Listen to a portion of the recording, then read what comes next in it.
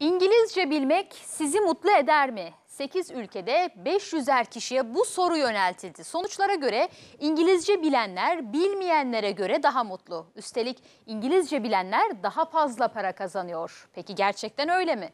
İşte cevap. Öğrenmek istiyor musunuz peki? Yok istemiyorum.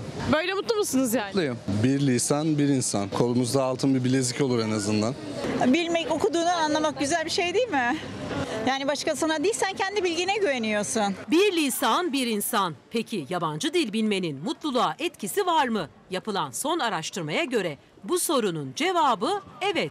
Özellikle de İngilizce için. Bundan hem e, bir gelir elde edebilirsiniz, hem bir kariyer elde edebilirsiniz, hem mutlu olabilirsiniz. Yabancı diller arasında en çok tercih edilen İngilizce. Türkiye'de artık öğretilmeye ana sınıfından başlanıyor. Anne babalar çocukların İngilizce öğrenmesiyle fırsatların artacağını düşünüyor.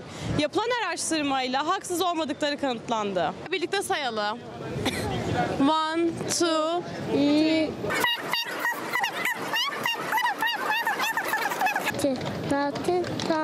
Araştırmaya 8 ülkeden 500'er kişi katıldı. İngilizce bilenlerle bilmeyenleri iş, sosyal hayat ve refah seviyeleri karşılaştırıldı. Aradaki fark şaşırttı. İngilizce bilen insanların bilmeyenlere göre %73 oranında daha fazla mutlu olduğu ortaya çıktı. Yok inanmıyorum ben ona.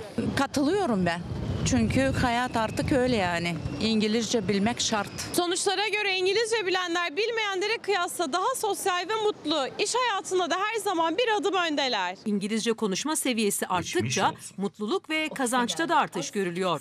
İleri seviyede İngilizce bilenler diğerlerine göre %25 daha fazla para kazanıyor. Meslek hayatına girdiğimde işler nasıl değişir bilmiyorum ama şimdilik bir işime yaramadı çok.